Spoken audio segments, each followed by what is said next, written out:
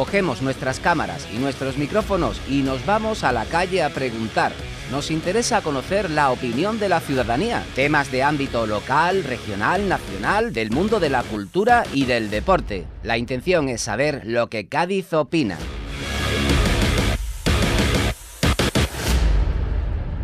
Ola de incendios en España. A las altas temperaturas se sube la crisis del cambio climático y también la denuncia de muchas entidades por la falta de pastoreo. ¿Qué piensas al respecto? ¿Qué soluciones se pueden dar?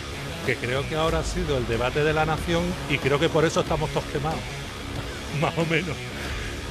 o sea, una posición sobre, sobre los incendios, pues son muy chungos cambio climático o no cambio climático, eh, hay mucho negocio al respecto, pero obviamente el, clima está cambiando. ¿Se puede hacer algo? No lo sé. O sea, las dinámicas climáticas son inexorables. La intervención del hombre es obvio. Y, en fin, es todo, es todo bastante complejo, ¿no? Pero también la pregunta ha sido un poco compleja, ha abarcado muchas cosas a la vez. Bueno, yo pienso en lo de los pastores, eso es muy importante, ¿eh? porque claro, si no se van reciclando los montes, esto llega a los incendios. Yo no creo que haya gente tan mal intencionada que empiece a quemar los montes, ¿no? ¿Eh? Porque definitivamente que quema un monte está quemando algo suyo. ¿Y piensa que es normal toda la ola de incendio que está viendo o puede tener algo que ver también el cambio climático, las temperaturas, aparte del no cuidado de los bosques? Todo tiene algo que ver, ¿no? El cambio climático también, por supuesto. ¿eh? Estamos en unos... Nos estamos también asustando con estos calores tan grandes y yo recuerdo calores más grandes que estos, concretamente cuando se inauguró el primer estadio Carranza, que era un estadio de una planta baja solo. ¿Eh? cuando en Bahía Blanca nada más que había tres chales y el estadio, no había más nada. ¿Y qué hacer con, con estos incendios? ¿Cómo solucionar la cuestión? Ah, yo no soy técnico en eso. Yo, si fuera técnico, te podría decir qué hay que hacer. Yo hablo de lo que sé o lo que he vivido. Aparte de la ola de calor y todo eso, pero yo también me inclino que también hay algo provocado también. Que los incendios no es solamente por la ola de calor, sino que hay mucha gente que no miran por, el clima, porque aparte que tiran muchas colillas cuando van conduciendo y eso provoca incendios.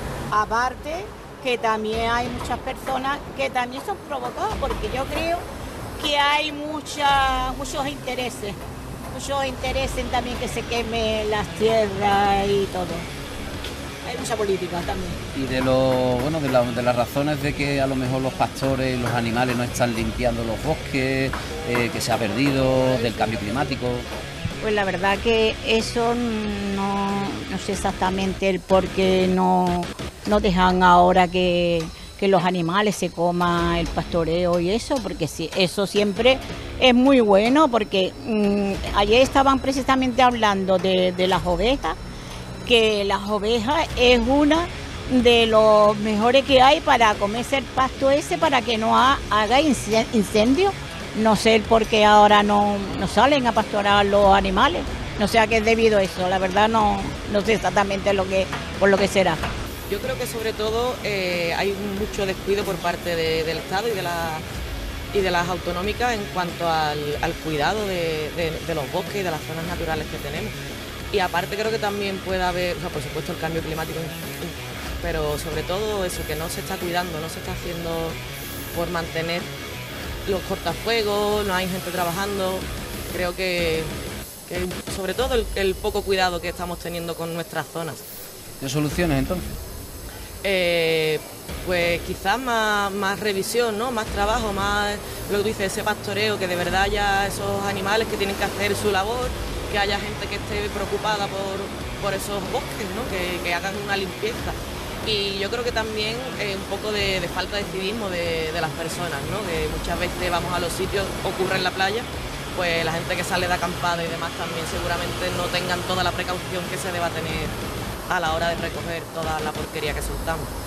Pues hoy precisamente en el programa de Onda Cero he estado escuchando al presidente de la comunidad extremeña y precisamente hablaba un poco de eso que me has comentado, ¿no? de, que, de que hay que hacer labores de limpieza en, invierno y no solo preocuparnos, que obviamente también hay que hacerlo, en verano de, bueno, de que, de que hay también gente yo, no sé cómo llamarlas, porque realmente este tipo de pirómanos no, son, mm, no, tienen explicación, para mí no tienen ningún tipo de, sentido, son auténticos delincuentes. Así que cambio climático, bueno, esto es la controversia, la verdad no sabe uno qué creer.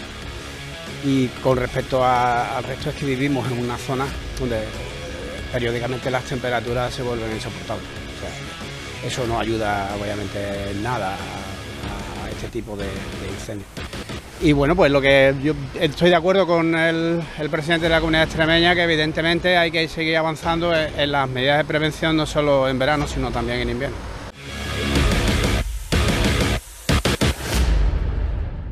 Nos encontramos en verano y puede que nuestros hábitos alimenticios cambien.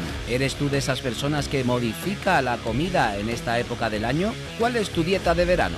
Vamos a ver, yo de la alimentación abuso todo el año con, diversas, diversos tipos de cosas.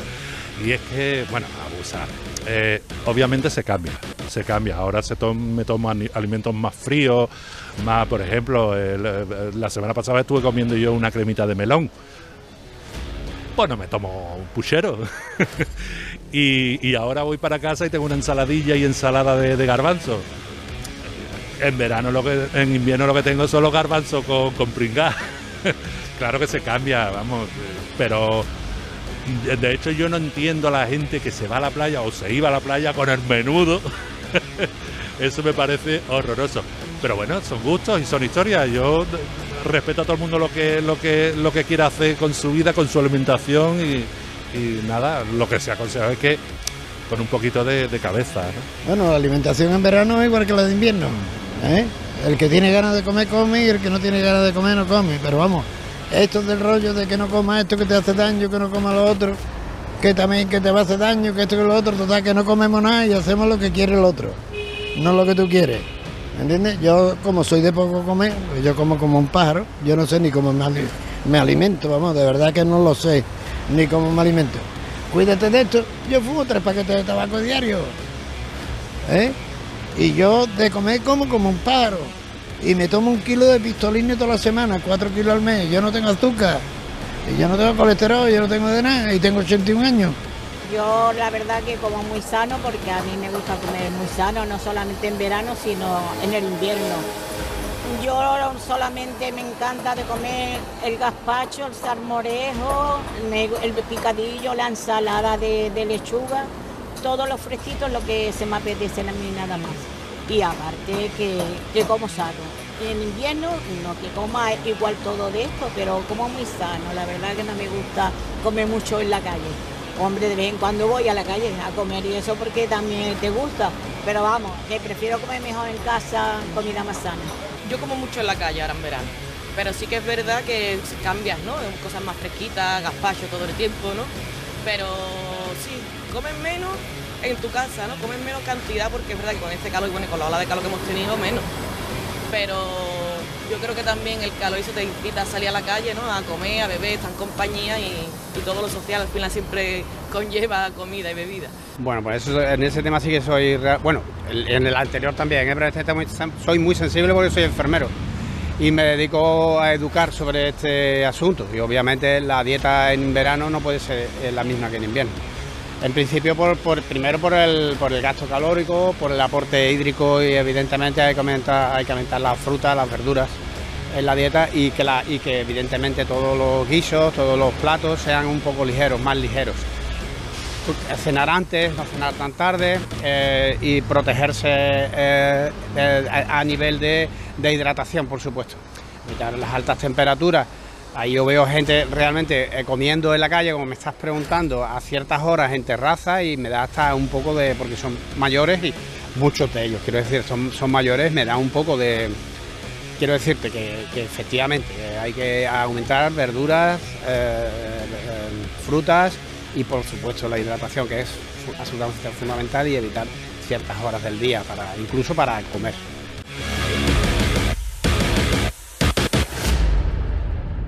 Llega la época de las vacaciones y todos los expertos recomiendan la desconexión. ¿Eres de esas personas que puedes hacerlo? ¿Dejas el móvil a un lado? Bueno, es que yo, es que no sirvo de ejemplo. Yo soy autónomo, me encanta tanto lo que hago que yo no, no desconexiono, pero es que... Porque ¿para qué? Además, yo me dedico a la relajación. yo lo que vendo es relajación, o sea, no, no, no, decir, no, ahora lo que voy a hacer es estresarme un poquito. Hombre, no tiene sentido, ¿no? Sí, bueno, yo eh, las vacaciones las llevo bien porque yo, aunque yo nazco en Cádiz, mi sangre es asturiana. Entonces yo todos los veranos voy a ver la tumba de mis padres, de mis hermanos asturianos. Entonces yo las vacaciones las llevo muy bien porque yo las hago más culturales. Yo voy de aquí a Asturias, pues voy pasando por los sitios y lo que me interesa, voy a León, voy a la Catedral de León, voy a Salamanca, voy a la universidad, ¿eh? voy a Alba de Tormes, voy a ver la tumba de Santa Teresa, o sea, cosas como estas. Y el móvil, no sé si el móvil lo tiene muy esclavizado o sin embargo pasa de él en vacaciones. No, no, yo el móvil lo llevo siempre conmigo. Faltarme el móvil como faltarme un brazo. ¿Eh? O sea, yo estoy con las nuevas tecnologías. Yo la verdad ahora este año me ha cogido de que estoy con el pie que me ha operado y la verdad no salgo mucho de viaje, aunque he salido de todas formas dos fines de semana que me he ido a Madrid a ver a mi hija jugar al fútbol y eso, pero yo normalmente me suelo salir mucho de, vacaciones, me, me gusta y me gusta salir. Ahora sí no voy porque no puedo viajar, pero la calle y eso sí, sí suelo salir. Y por aquí, por la cercanía, por los pueblos y eso sí. ¿Consigue, consigue desconectar? Hombre, la verdad que sí, porque yo ya, por ejemplo, yo ya estoy jubilada. ya yo ya estoy desconectada del trabajo. estoy jubilada y entonces me desconecto. Lo que pasa que, claro, como te he comentado, que con el pie no me puedo desconectar lo suficiente porque a mí me encanta de, viajar, me gusta mucho todas las actividades y no puedo hacer. Pero bueno, dentro de lo que cabe, intento desconectarme saliendo a pasear por la calle con mi marido empujándome. Eh, yo es que estudio y trabajo, entonces del estudio sí tengo desconexión, aunque también estoy haciendo cursos ahora para no perder, pero del trabajo difícil unos dos semanas, he estado una semana de vacaciones que ya he cogido y sí que, por lo menos el grupo de WhatsApp del trabajo sí que no, no lo miro, intento estar desconectada, pero a veces se hace difícil, ¿no? Es bastante complicado coger esas vacaciones de verdad de desconexión y decir, vamos a parar hasta aquí y retomamos fuerza cuando vuelva. A mí personalmente me cuesta. ¿Eres de la que te sale del grupo de WhatsApp del trabajo y vuelves después cuando, cuando te reincorporas? Sí, sí, siempre que la entidad lo permita, sí. Creo que es necesario además, vamos. Eh, no solo coger vacaciones en verano, porque ya vivo en el paraíso, así que si la gente trabaja 11 meses para venir a Cádiz, pues yo vivo 11 meses y luego uno me voy fuera de Cádiz. Y la verdad es que, mm, bueno, eh, suelo dejar las vacaciones para las temperaturas más moderadas.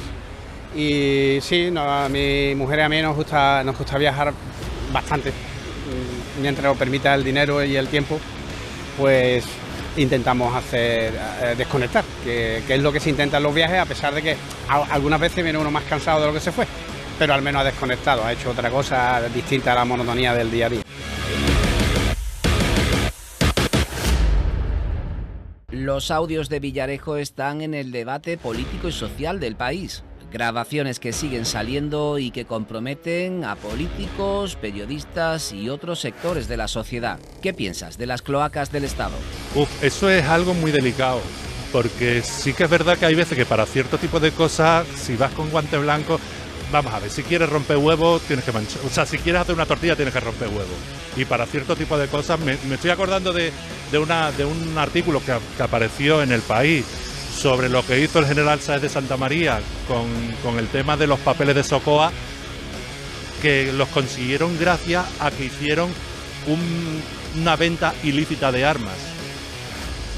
O sea, sin embargo, consiguió un desmantelamiento de toda la cúpula de ETA. Es que hay veces, por otro lado, cuándo, dónde y en qué momento hay que poner los límites. Eh, es un es un equilibrio bastante, bastante difícil, hay que limitarlo, pero por otro lado es inevitable. Bueno, yo opino que todo eso es un rollo montado. ¿eh?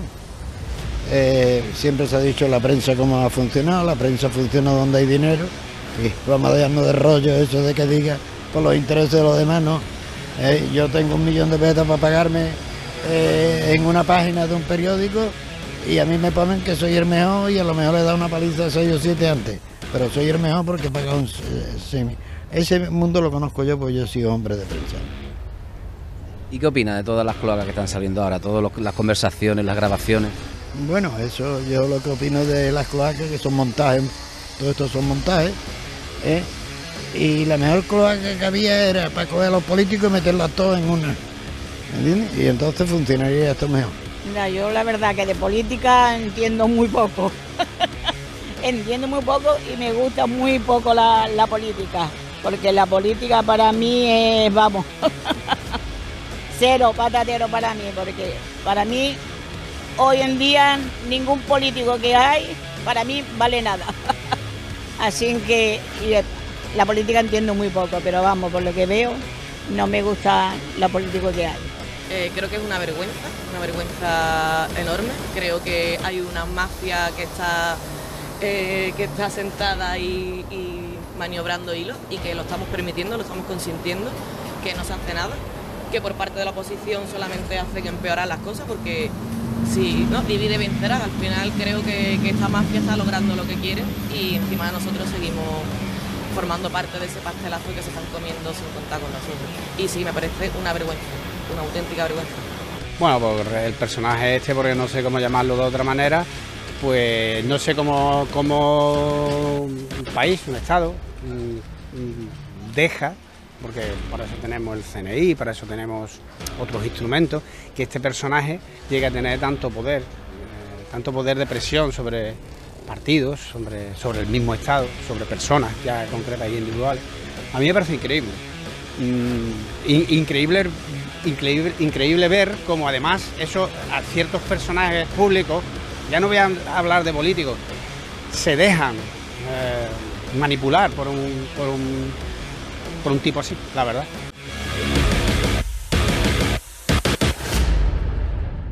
La selección absoluta de fútbol femenino ha conseguido la clasificación para la fase final del europeo. ¿Cómo estás viendo la participación de las españolas en esta competición? Pues me alegro por ella. Otra gente más dando pataditas, como decía, detrás de, una pelota, como, dice, como decía mi abuelo. No es el fútbol precisamente lo que levanta mis pasiones. Me da igual si, si, si son hombres, si son mujeres. Mm, el fútbol me interesa, de vez en cuando veo un partido del Real Madrid porque, porque sí es verdad que juegan bien, o el Barcelona cuando está bien, pero no soy consumidor de fútbol. No, no, no es una cosa que me interese demasiado. Hombre, yo pienso que están en la realidad. Aquí nosotros tenemos un concepto de que la mujer, como no se la deja votar, como esto, como lo otro, la mujer vale más que el hombre, ¿eh? donde se ponga. ¿eh? La mujer no tiene que luchar por la igualdad, porque el que tiene que luchar por la igualdad es el hombre. La mujer vale mucho más que el hombre donde se ponga. ¿eh? De hecho, a mí me repatea cuando me dice, tu mujer trabaja o tu hija trabaja. Bueno, las mujeres trabajan siempre. ¿Quién lleva las casas? O eso no es trabajo. Es más un trabajo que no es cobrado. Yo en ese aspecto, chapó, orgulloso de ella, de la selección y orgulloso de las que empiezan. Hombre, me parece muy bien lo, de la selección femenina y eso está muy bien. Aparte que ha salido seleccionar la chavala, la Alesia, pues la verdad, una sola jugadora no es solamente el equipo, pero vamos, influye mucho. Pero vamos, están luchando, que por cierto lo vi ayer, antes de ayer, y se clasificaron. Con el empate tenía bastante, pero bueno, al final em, ganaron 1-0 y la verdad pues me, encanta, ya que mi hija también juega en la selección, pero no en fútbol, fútbol 11, sino en fútbol 7, en fútbol sala. La verdad que hoy en día a, a las mujeres se le da muy poca promoción en el fútbol y eso. Y la del fútbol 11 tiene un poco más, pero la del fútbol sala tiene mucho menos. Hay que ver que jugaron un europeo, la selección de fútbol sala, un europeo y no lo televisaron y no lo televisaron. Eso vamos, eso es de vergüenza que no televise un y televisan un rugby, televisan esto y televisan lo otro y no televisaron la, la selección española de fútbol sala. Y me parece muy bien la selección española que va ha pasado a los cuartos, a ver si ahora llega a, ganar el, mundial, ¿no? Bueno, el mundial no es el europeo, ¿no? A ver si tiene suerte y la gana y le deseo la mayor suerte del mundo. Pues he estado viendo algo, no te mentiría si te dijera que he visto los partidos completos, pero sí que lo he estado viendo un poquito y la verdad que es una maravilla, ¿no? Y me parece genial que se le empiece a dar visibilidad también a todo el deporte femenino. Pero sigue haciéndome mucha gracia que dentro de ese deporte femenino y esa selección femenina el entrenador siga siendo un hombre, ¿no? Creo que volvemos un poquito a, en fin, pero bueno, me, yo aún a tope con ellas y, súper bien. Y que se le siga dando de verdad visibilidad en los deportes, no solamente ese 30 segundos que se le dedica al deporte femenino y 40 al masculino, sino que ojalá de verdad llegue a haber una, equidad en la información sobre el deporte femenino. Afortunadamente, afortunadamente digo la visibilidad que empieza a tener el fútbol, el fútbol no, el deporte femenino es un poco mayor de la época de la que yo vengo, ¿entiendes?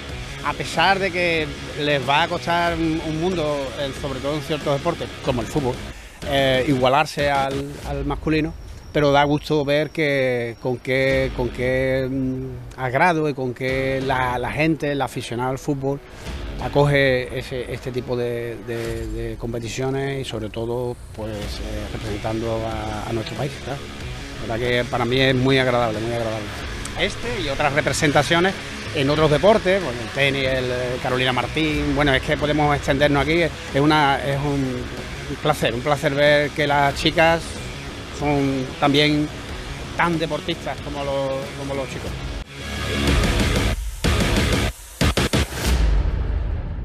Normalmente la actualidad se impone y el rodillo informativo puede que deje temas de interés en el cajón. ¿De qué tema te gustaría hablar? ¿Cuál es tu causa? Soy autónomo. Por lo tanto, lo que pido es que la, reforma del estatuto de autónomo, de la cuota de autónomo famosa, sea justa.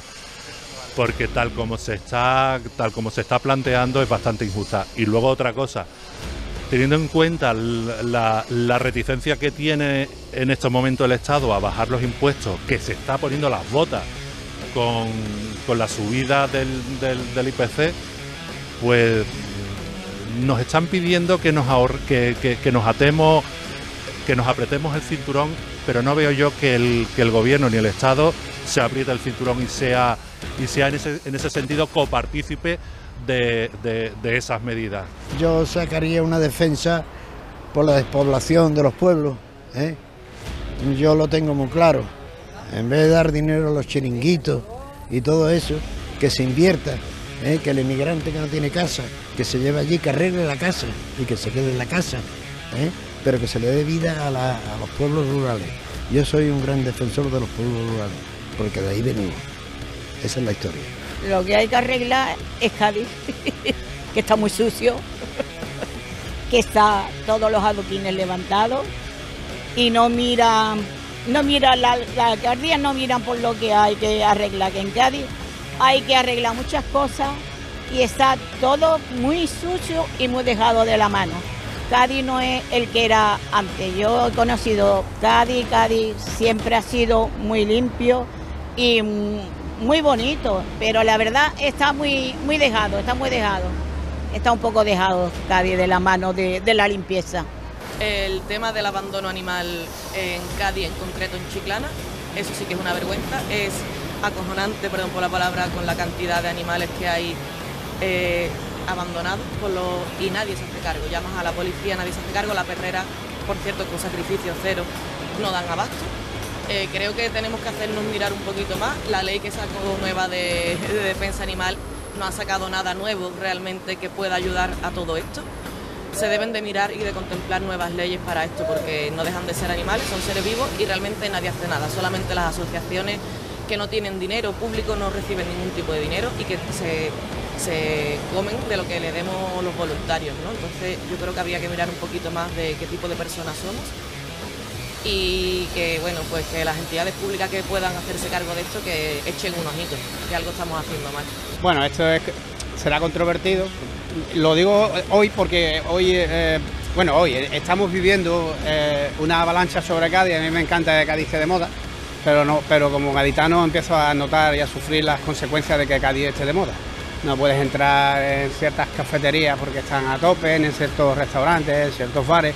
Empieza, empieza a cambiar mi propia vida, eh, el, que tanto turistas se acerque a, esta ciudad. yo lo entiendo, yo lo entiendo, porque vivir en Cádiz es un privilegio que no está no tiene, no tiene mucha. Bueno, Cádiz, no, no solo Cádiz ciudad, sino Cádiz provincia, ¿eh? Que, yo la extiendo desde, desde Chipiona hasta Tarifa y desde, y desde Conil hasta, hasta Torrealáquime. O sea, ya te digo, para mí la provincia es una maravilla. Y, bueno, eh, hablando concretamente de esto, que, es que estos días hemos estado sufriendo eso, claro, estamos en temporada alta y, la verdad que no es, no es denunciarlo, porque lógicamente me van a matar mis amigos de los bares y de los restaurantes, pero empieza a ser molesto, la verdad.